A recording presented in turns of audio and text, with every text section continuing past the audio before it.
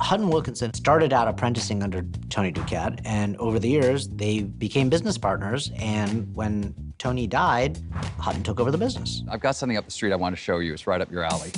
And I've been working on it for a long time. Your personal house on the property is the best house in Beverly Hills. I just built that. Dawnridge is made up of the original Tony Duquette house, Hutton's personal house, and the house that Hutton made in the style of Tony Duquette. I've completely redone this house. It's magnificent.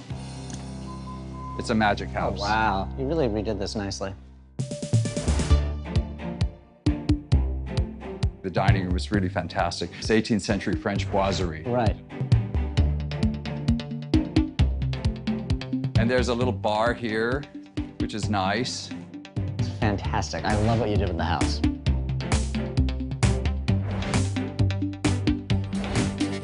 This is the bedroom. We put in the window and we made the tub here and the shower there. And then the connection with the outside is great. I love this. I love this whole property. It has magic.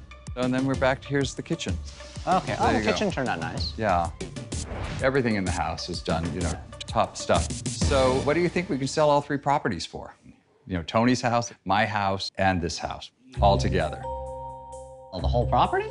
Well, I, I don't want to, but if you got me the right price, I'd sell the whole property. Oy vey, here we go again. You know how many times Hutton's toyed with the idea of selling Dawnridge?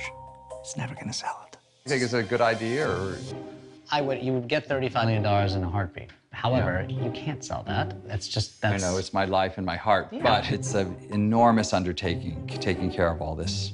I've got five gardeners a day. I know Hutton really well. He really doesn't want to sell Dawnridge. He just likes to kvetch about everything.